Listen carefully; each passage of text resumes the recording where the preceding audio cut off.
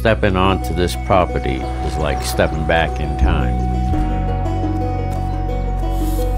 The Ottisons, myself, my brother, and my father built all these structures.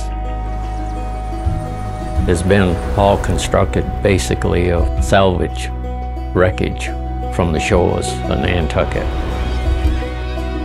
We did the best we could with what we had. We've been married uh, 43 years. So was it love at first sight? Oh, hell no.